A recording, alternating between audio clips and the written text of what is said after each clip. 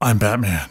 Welcome to the Batcave. Uh, I'm just kidding. People always have been commenting about how dark and moody my studio is lately, so I decided to start this one off a little bit darker than usual. Speaking of lights, we are going to be reviewing some lights from Nanlite and LEDGO. They have come out with this thing called the Altatube, Alta Tube. This is the 80C version. So what we're looking at here is a $500 light. And on top of it, we've got the honey crates. Honey crates are another provider of grids similar to what you'll get with a DOP choice, but instead of squares, you have a more, is it a hex hexagonal format? You'll have more of a circular output. The main star of the show is the Altatube 80C and what it's capable of, how bright it is, what features it has, how loud it is. So Nanlite is the parent company of LEDGO or LEDGO. I'm just gonna say LEDGO. So Nanlite is LEDGO's parent company, and they also sent out the Light 5Cs, the Pavotube 2 6C or 6C Mark II. These are all full color lights. Dual color, full color, RGB, WW. They all come with cases to carry them around in, which is super handy. Primarily, we're gonna talk about the Altatube, but we're also gonna look at all these others. So let's just, let's just start with output and color quality. All right, so here we are, Sekonic C800. We need to dim all the other lights and take some measurements, but I'm not gonna make you sit around and watch those. We'll be right back. Something you gotta remember when you're taking these modifiers off is they cut a ton of the output out of the light when you use them. And this is not even as bright as it gets. It's got a bunch of different fan modes uh, built in. Right now it's in silent because of course I hate fan noise, but there's also uh, max output mode, which the fans will start going like pretty loud, uh, but it gets way brighter than this. We're gonna measure all the different fan modes and those output modes. So I just got through measuring all of the metrics and stuff. Tommy from post-production is gonna cut in right now and go through some of those numbers. No, I'm not. It'll be quick.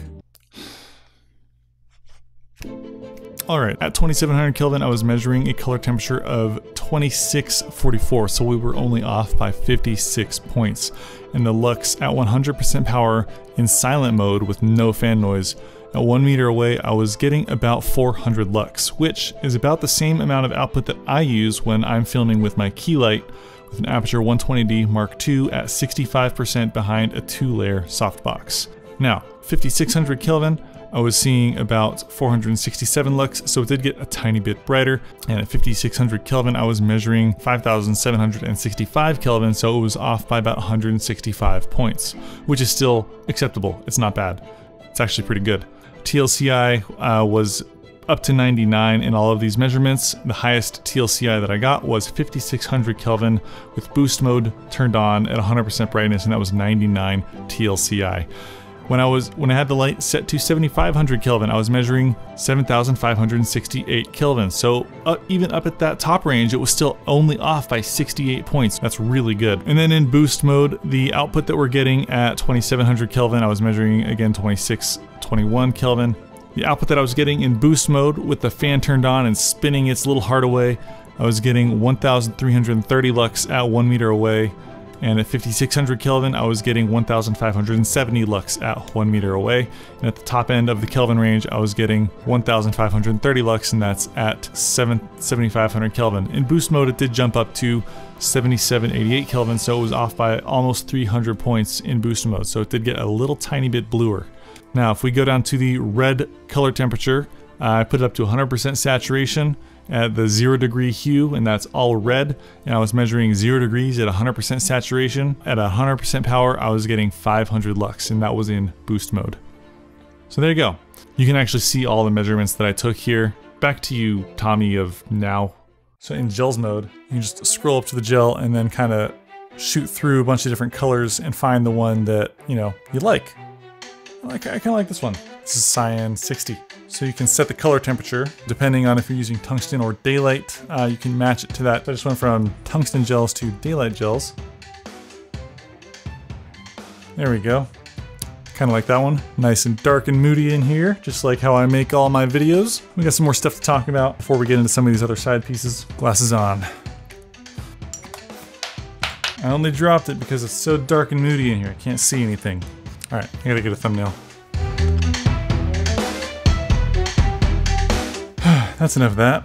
Let's talk about some things that I like and don't like about this light. It comes with some nice accessories. So this little tool just kind of snaps onto the tube wherever you want to mount it and just clicks on. Uh, you can mount it to any type of light stand or C stand. But the thing that I don't like about it, the power cable goes in one end and all the controls are on the other end. I think that's kind of frustrating because if I'm mounting this light like this, like really, really uh, high up, instead of being able to access the controls at the base of the unit, I'll need to then pull the light back down because the controls are way up high.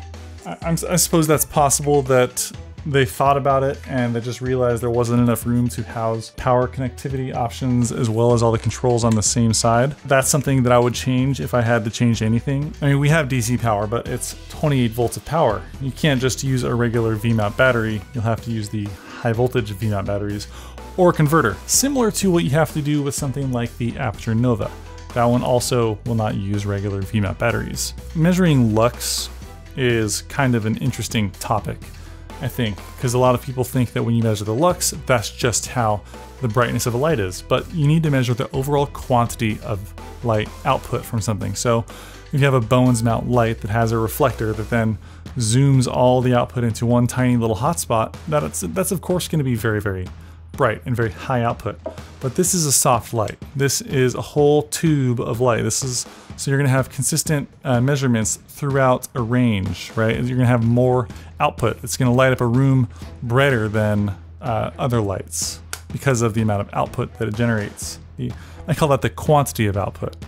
I don't know if there's a like a metric to measure the total quantity of output beyond just the watts and the voltage of you know, power going into the LEDs, but all the LEDs are made differently, so it's hard to measure that. I mean, of course, we have the hue saturation intensity to let you pick any color combination, hue or saturation. You can make it kind of saturated or you can make it really saturated, just like almost any other RGB WW light. That is a pretty standard feature these days. And as for special effects, we've got about seven special effects. We've got the most common ones like police car, but usually for these kind of lights, I just generally leave them in CCT mode or pick a color and use that that way. But it's nice to have those special effects for when you need them. I do like the tactile on-off switch. Seems to work fairly well. The light does take just a few seconds to start all the way up. You've also got a DMX port on the back of this light, and we've got a USB port. Build quality is pretty nice. Actually, this is one of the nicer build qualities of a tube light like this in this form factor that I've handled. I guess they use like a really nice hard PVC style plastic here on the handles or on the ends uh, for the controls and for the power to go into.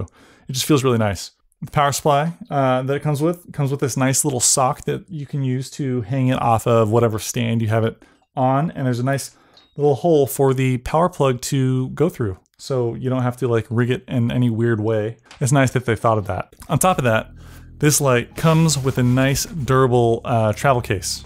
What is that motion I do with my hands? Travel case. It's really nice, very high quality, uh, durable stuff here. Oops. And uh, we've got a few accessories in there. DTAP to XLR power.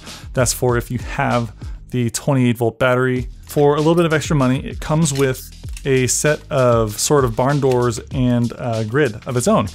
Now, I played with it a bit, but it's it's actually quite difficult to attach and rearrange um, you know, and configure onto the light. But once you have it on there, it works really well. But um, I've opted to use the Honey Crates grid because it's a lot easier to put on and off of the light. And from what I've seen, Honey Crates are slightly more affordable than DOP choice uh, options. And just like that, we're on there. The LEDGO one is like 60 bucks, and the Honey Crates version is just like 40 bucks more. Um, I think it's definitely worth it to go with the Honey Crates route and that is the Honey Crates uh, Baby Bee NP20. And That one also comes with a really nice little carrying case of its own, actually. Tube lights are uh, a growing market. I'm seeing more tube lights show up from different brands. So far, the best one that I've played with in terms of build quality, output, and value appears to be the LEDGO uh, series. They also have um, much bigger series. This is their smallest Altatube. They also have like the 120C and the 150C. Uh, I really like the Altatube. I think that I'm going to keep this one and use it and basically get rid of all the other ones that I have uh, because I just think that I see this one lasting the longest. As I go in and say, well, hey, look at the Pavo tube, another series of tubes. So Nanlite also makes uh, the Pavo tube. As for small portable tubes, I'm really liking the Pavo tube so far. Now, I know that I haven't experienced the larger Pavo tubes, so I can't speak on those just yet. But as far as the small Pavo tube, here we are. It's got magnets. You can stick it to things.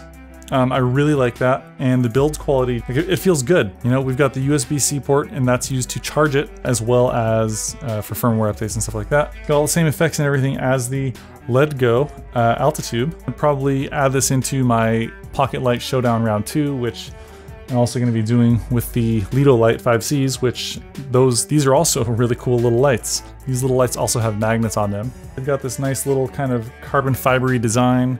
They look really cool. And there's magnets on the back of this one too, so you can stick it to things. And it comes with a nice little diffuser. Just like the Aputure MC.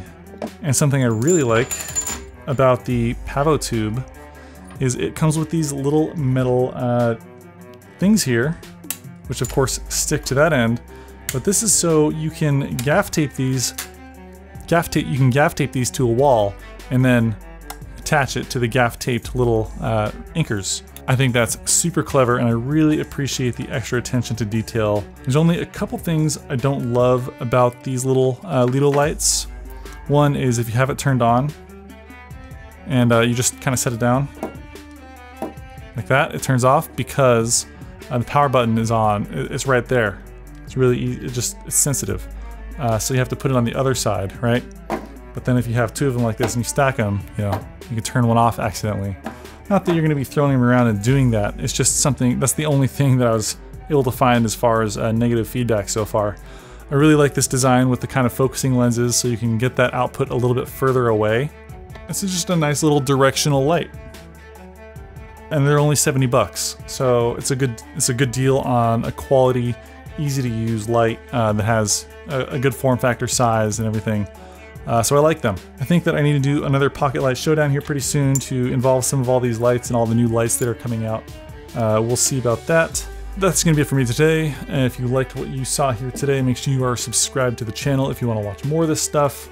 Uh, if not, well, hey, thanks for watching. There's links to all the lights in the description of this video. And if you like the music that I used, there is a link to where you can get two free months in your subscription in the description of this video. Thanks for watching. I'll see you in the next one. Peace.